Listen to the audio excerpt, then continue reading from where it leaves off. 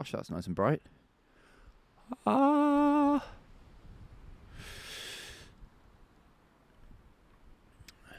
Uh, let me just check. Are we still? Yes. Okay, we're still in the light.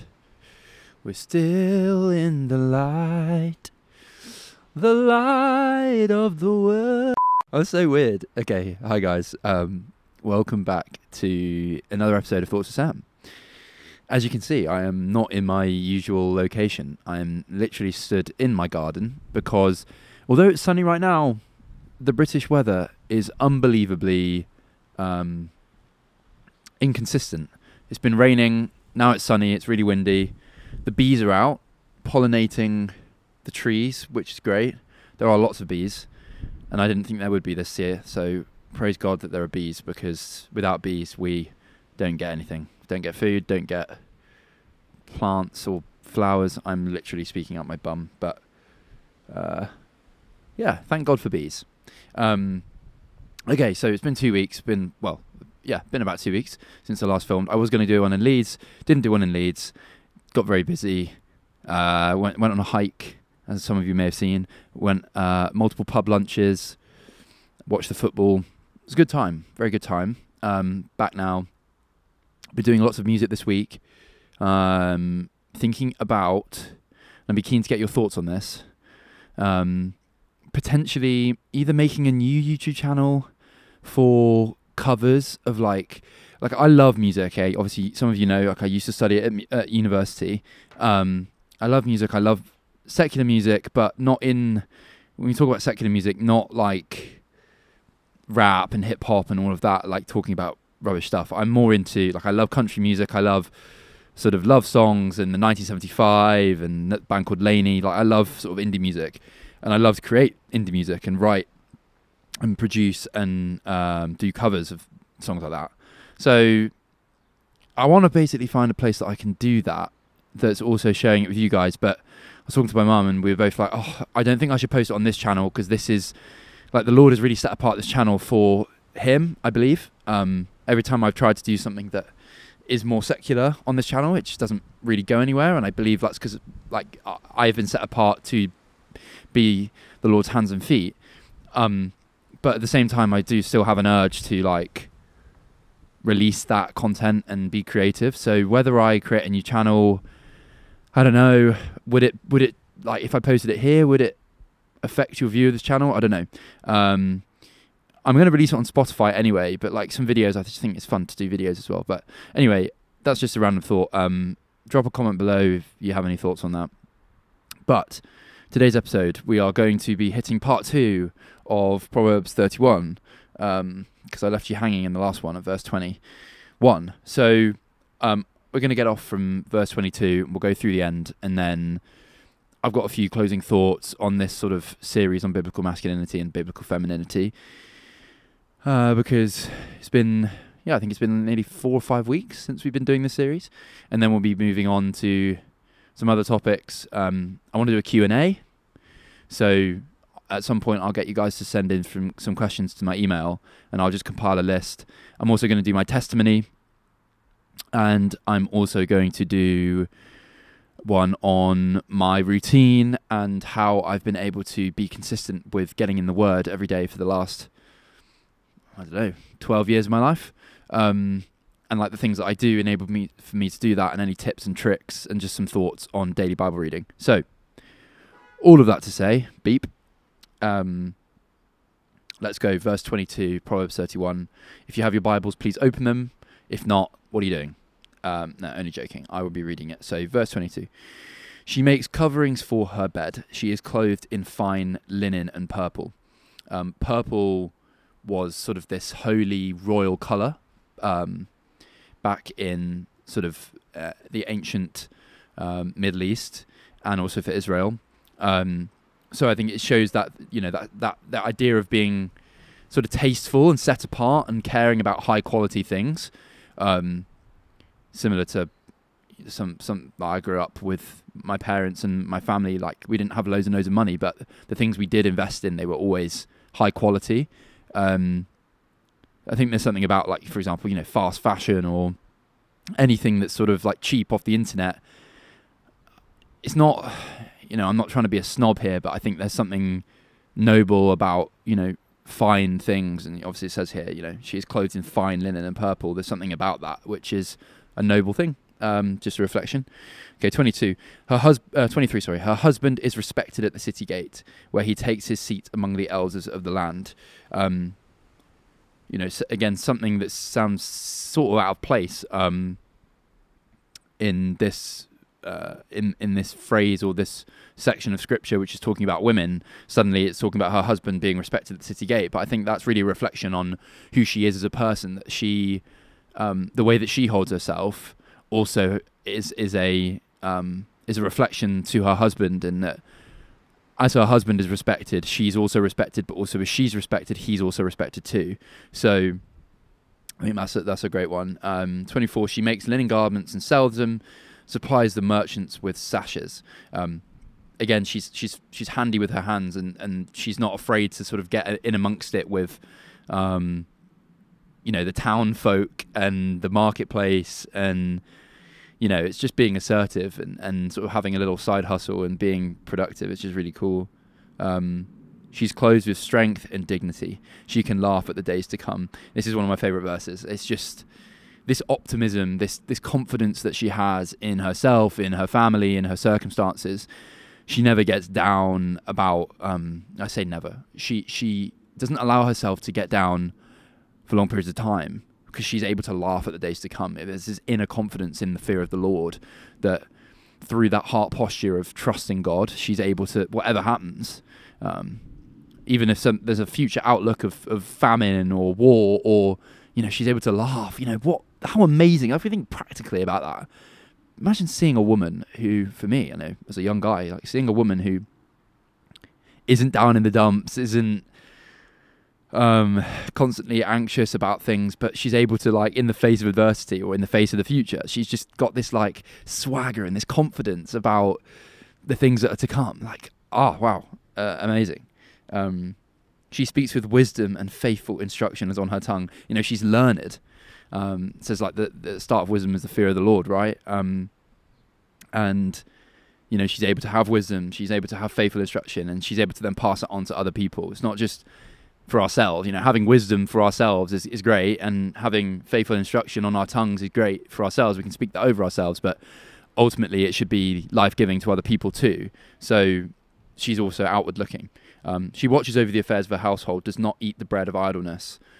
You know, that classic stereotypical um, role of women, which many people hate. You know, the idea of a woman being the sort of the homemaker. Um, you know, I find that deeply attractive personally. Um, and it says here, you know, she watches over the affairs of her household. She she doesn't eat the bread of idleness. She's not just standing by in the corner, doing nothing. Um, 28. Her children arise and call her blessed. Her husband also, and he praises her. Um, so important that you know. I think this is sort of a command. It's, it's, an observation, but it also could be a command for children and husbands. Um, praise, praise the woman of noble character. Call her blessed. Um, the fear of the Lord is to be praised. So, 29. Many women do noble things, but you surpass them all. Charm is deceptive and beauty is fleeting, but a woman who fears the Lord is to be praised. Um, a very famous verse. We'll come back and, and really hit that one properly. I'm going to do a whole section on that at the end of this video. Um, 31. Honor her for all that her hands have done, and let her works bring her praise at the city gates. Um, you know, so, so good. Um, at the end of the day, we should honor these women. Um, someone's getting beeping. Um, and and the the praise at the city gates, you know, that's all based on her work. So it's this idea of like a, a, a woman of noble character. Like it, you can see it in the way that she acts. It's not just a heart posture. It's both, but it's the way that she acts, and it and it has offshoots into her works as well. So that's Proverbs 31. Um, bit of a um, bit of a. It's really hard to focus when there's all these noises going on. Um, bit of an exposition on Proverbs 31. Now, I wanted to wrap this up. So, um, the main things I wanted to focus on is like what can we, what can we sort of look at and identify as these like key traits of a woman who fears the Lord. So um, I'll just hit five uh, with a few thoughts on them, and then we'll sort of wrap it up with a full overview of this biblical femininity, and we'll close. So, um, number one, she doesn't fear tomorrow's troubles. When a woman fears the Lord, she will not be anxious about tomorrow because she will be able to do what God has appointed for her to do. So she's so focused on what God has for her and, and the role and the responsibility that He's given her that you know anything that sort of gets in the way or anything that's sort of going on, she's able to laugh at that because she's so confident in what she's been set apart to do. Um, she has practical wisdom. She's strong, both mentally, physically, intellectually. Um, you know, I, th- I think it talks about the woman in Proverbs 31, you know, having strong, eager hands. Um, it doesn't necessarily mean that she has to go lift weights at the gym or stuff like that. I think actually just the heart posture of wanting to serve and be proactive and take initiative naturally builds your physical strength. But I think also having this mental strength, having this intellectual strength often feeds into the physical because you want to be able to keep your body in a fit position and a, a place that you're able to um, work out those intellectual strengths. So it's really hard to do that if your body isn't allowing you to go to various places or to do certain things, or you're frustrated because you're a sluggard and you can't sleep properly and, and you're eating the wrong food. Like that's going to directly affect your mental and your intellectual strength.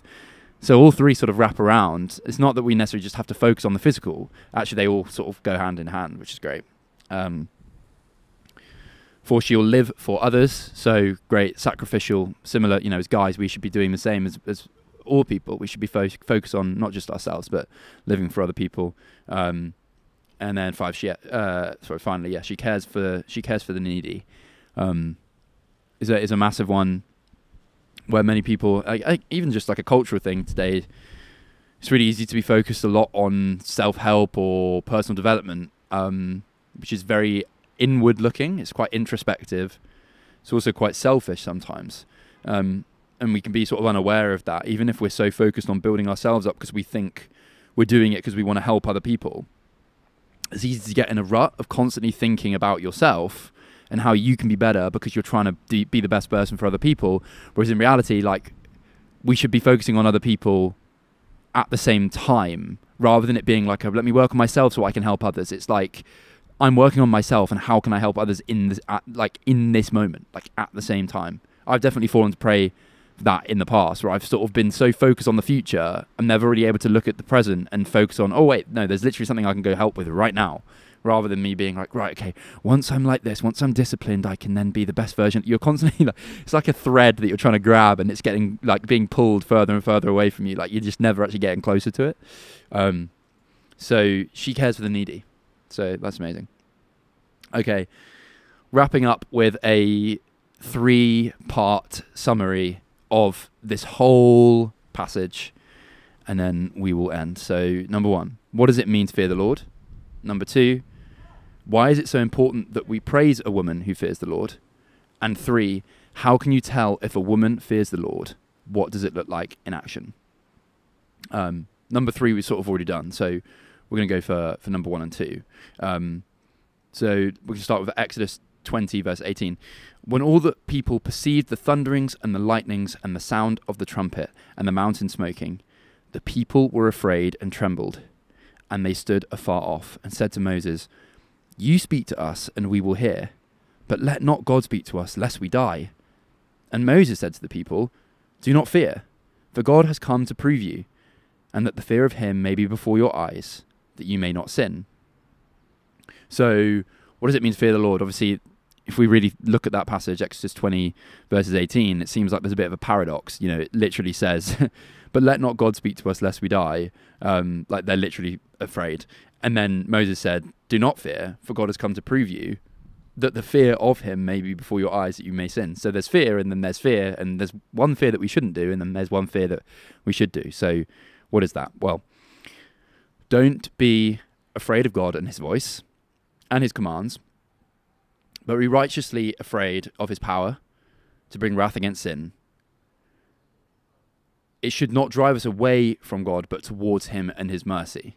So, true fear of the Lord is not something that we should be afraid of, the way we have to run from him. It's actually the true fear of the Lord is something that we're so in awe of his power, his mercy, and his wrath against sin, which is righteous, that we should view life in a in a in a mindset that is holding that at the epicenter, right? So that everything that we do should be held in light of wow, God is a just, wrathful God who has the power to move heavens and move earth and create life and if he is that powerful, if if he is that um, strong, then I need to be afraid. Like I need to be aware. I need to be vigilant. I need to be careful about what I do. But at the same time, that shouldn't make us afraid where we run from him. It should make us joyful that that powerful, strong, wrathful God is our heavenly Father, someone who loves us and that died for us, and we should throw our bodies on His mercy and His grace. Um, that's what it means to fear the Lord. Um, so a woman who does that is to be praised. In the same way, a man who does that is to be praised. But obviously, we're so focusing specifically on on women here. So number two, um, three reasons for why praising a woman who fears the Lord is is good. So number one, this is this is great. Um, it feels good. First and foremost, sounds a bit weird, but we'll we'll unpack that. So it feels good. Uh, praising a woman who fears the Lord, it, it also honors God, and it also encourages her work in the Lord.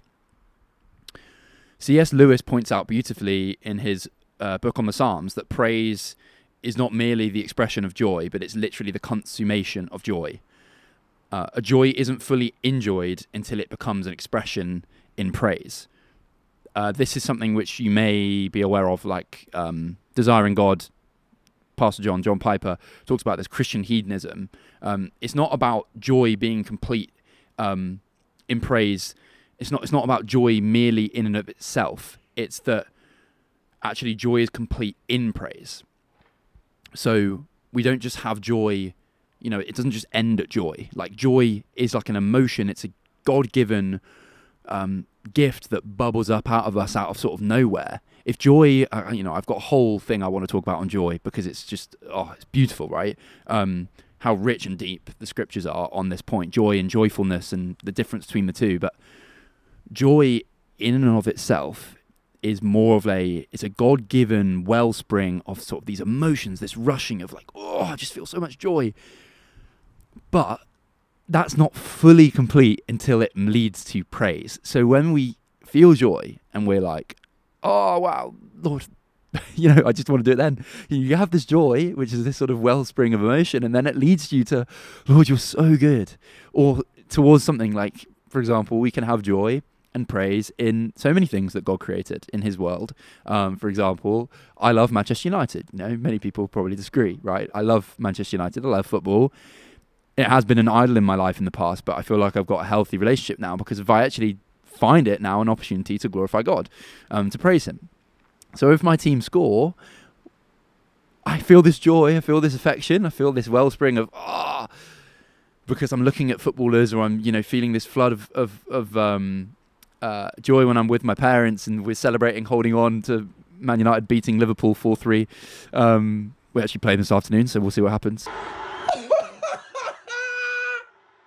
Kobbie Mainoo! Oh, this guy, bro.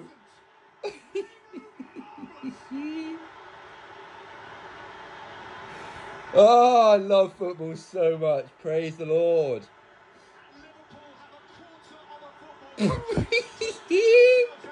oh, I love this guy. Oh, Lord, thank you for making his parents.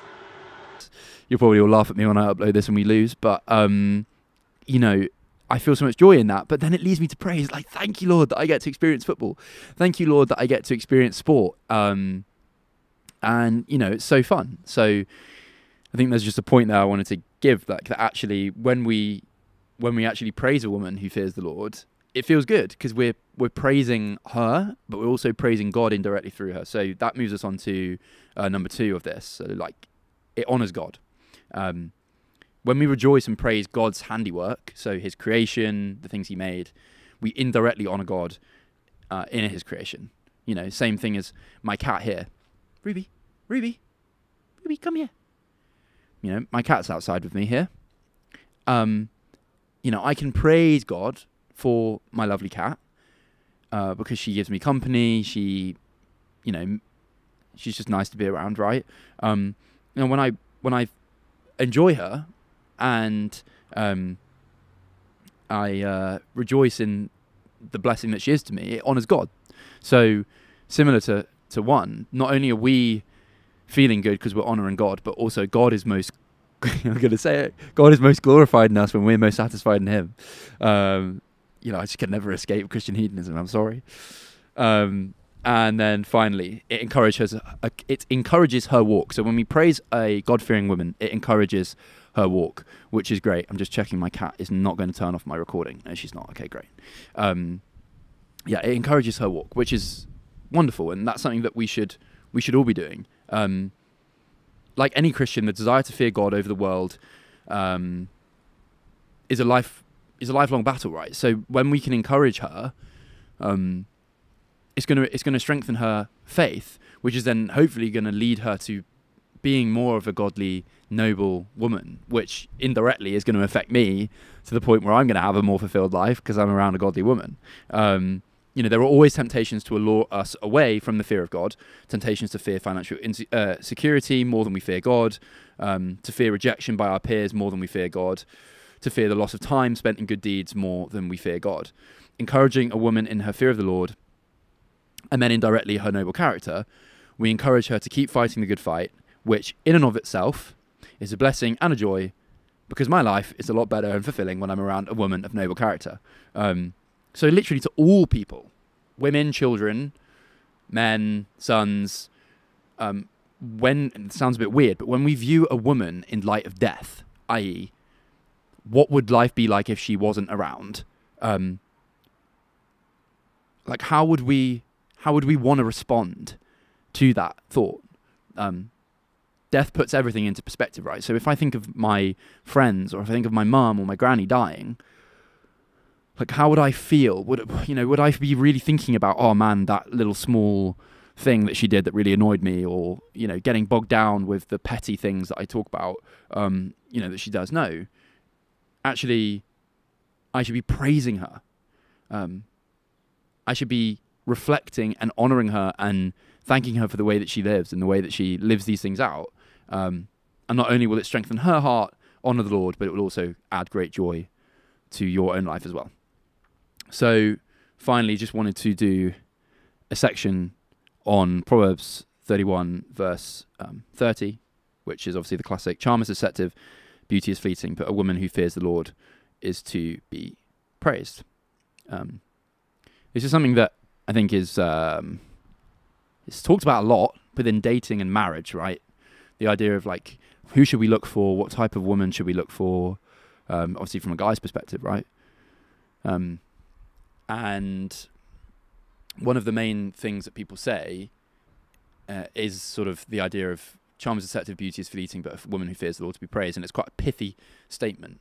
Um, when I say pithy, it's sort of flippant, it's lacking nuance, it's just like a broad stroke phrase, which in and of itself is really helpful. I think it's really important to have those statements, but it's also important to break them down and to look deeper into them. So, something I struggled with on that verse was basically um, it's quite easy to read it and think, oh, okay, well, we should avoid beauty and we should avoid charm because um, beauty is fleeting and charm is deceptive, um, or the other way around. Charm is deceptive and beauty is fleeting, but a woman who fears the Lord is to be praised. Um, so we should focus more on, or we should just focus on the woman who fears the Lord, and we should, you know, almost villainize the the charm and the beauty, which is definitely something I did in my life, um, which wasn't very helpful, was it, Rubes? Um, um, so I am here to say I think that's potentially a wrong way of viewing it. Um, so these things in and of themselves, beauty and charm, are not wrong in and of themselves, but they are also not virtues in and of themselves. So beauty in and of itself is not a virtuous thing. Um, charm is not a virtuous thing, especially avoid or um, free from fear of the Lord.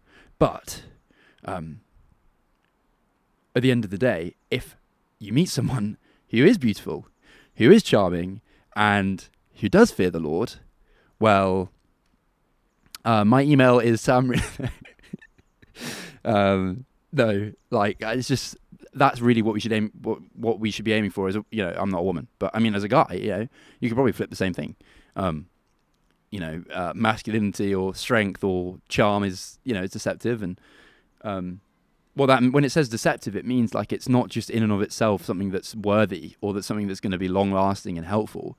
Actually, the people who are most beautiful and most charming can often be the people who are lacking the fear of the Lord or who who don't care about the virtuous things because they're so focused on the beauty and so focused on the charm. They've had so much experience in growing in those things. Um, so that's why many people sort of see him as a red flag. But I don't, I don't think that's helpful either. Because what about all the godly people who do love those things and have grown in those things, um, whether through experience or um, you know life-giving things? Um, sorry, my cat is literally about to kill a butterfly. Rubes, don't do it. Ruby, don't do it. Rubes. I want the butterfly to live. Okay, I'm just going to allow God, please protect that butterfly. Amen. Okay, now I'm concerned. Um. Oh, I've lost my train of thought. Thank you, Lord. Uh, let me go back to where we were in my head. Yes, beauty and charm. So there are people who do love to look a certain way or to focus on certain things, or they're just naturally beautiful but naturally charming. I don't think in and of itself that is a bad thing, but we need to be focusing on the fear of the Lord. And it's easy to get lost in the nuances, but um, focus on the fear of the Lord. Don't be afraid of people who are beautiful and charming, but test, check, make sure that they do fear the Lord, and obviously use this resource as we've gone through the list of you know what to look for. Um, so, wrapping up the series on biblical masculinity and femininity. I don't know how long this one was. We'll see. Um, I just wanted to reflect on yeah why we often talk about you know even like we are even looking for biblical masculinity and femininity. It's it's always something that I think we look for as young people. It's like one of the most searched things on YouTube. It's like, what is biblical masculinity or what is biblical femininity? Like, there's there's such a desire to try and understand these things. Um, I think there's three things why: um, wanting to honor the Lord and do what's right, uh, to walk in the truth, so that we bring life rather than death, because that's what the truth does bring. And then, thirdly, to attract someone of the opposite sex who is also acting these things out for the things listed above um, wanting to honor the Lord and the walk in the in the truth to have a good life. So um, I think those three those are often the reasons why we look for these things, but biblical masculinity and femininity are not concepts inside a vacuum. So I shouldn't just be trying to focus on biblical masculinity for just because I want to be the best biblical man I can be. Like that isn't necessarily a bad aim, but it's not the whole reason why I should be. Um, I want to pose the proposition that I think we should be doing these things, growing in biblical masculinity, growing in biblical femininity, in light of the opposite sex. So, me growing as a biblical man should have offshoots because I want to attract, obviously, someone who fears the Lord, a woman who fears the Lord and who is growing in biblical femininity, but also because I want to walk in the truth. I want to have a great life. So, obviously, I, th- I think that can sound quite uh, obvious you know, like we don't just focus on these things for the sake of it, but many people do often focus on things for the sake of it, don't they, Rubes? Um, just because they hear you should go do something, and it's like, well, why? Um, so I think, yeah, just being intentional, thinking, right, actually, yeah, we should be growing in these things, biblical masculinity, biblical femininity. Why? Um, because of the other men and women in my life. I want to be the best version of myself for those types of people. Hebrews 10:24. Let us consider how to stimulate one another to love and good deeds. I do not grow for the sake of merely growing. I grow in light of others, um, which is obviously the Christian walk. We should be less focused on ourselves, more focused on how we can honor God and how we can other honor others and love others around us. So there we go, done. Woohoo! five weeks of biblical masculinity and femininity. You definitely don't need to listen to this on 1.25 or 1.5 speed because I speak so quickly.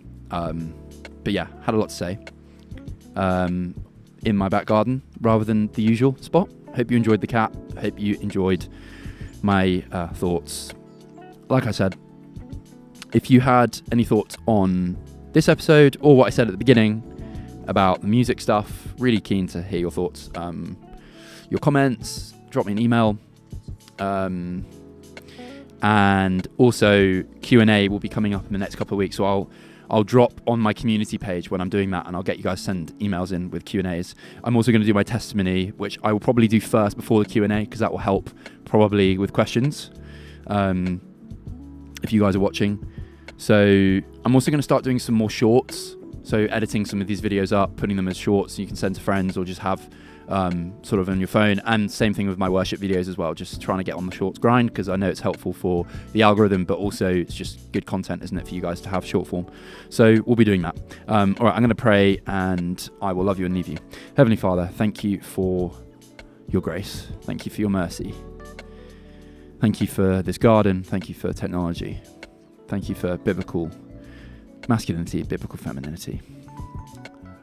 Lord, help us to be God fearing people who view this world in light of your glory and in light of your kingdom. Lord, when you will return um, at the trumpet sound, Lord, where every knee will bow and every tongue confess that Jesus Christ is Lord. Lord, help us to not just focus on these things for the sake of being noble people or to look good in the eyes of the world or just to live a life giving life. Lord, help us to grow in these things out of our fear of you out of our affections for you and your name. Lord, that in whether word or deed, we do all these things to your glory, for your name and your fame, um, to the honor of God, the Son, the Father, and the Spirit. Father, we love you. We praise you. Bless this week, Lord. Keep us safe. Keep us free from the enemy. Keep us safe. In your name I pray. Amen. Okie dokie, guys. I'm going to wrap it up here. Ruby's coming out. Ruby, come here. Come here. Say hi to the people. Son, say hi to the people. I don't know if you guys can see her. Ugh. You're a good baby, aren't you? Do you want to purr into the microphone? Just nuzzling it. Alright, guys. In a bit.